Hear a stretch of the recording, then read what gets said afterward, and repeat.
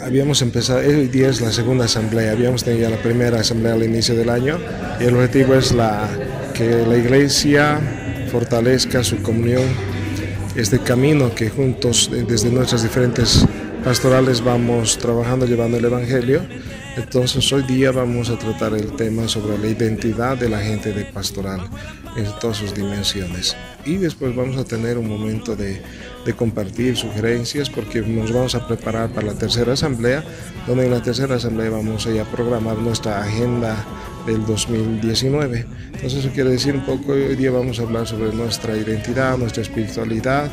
y el compromiso de cada persona, que cada gente pastoral que tiene en sus parroquias, pero esto va a ser eficaz va a ser fortalecida si, todos los agentes pastorales estamos unidos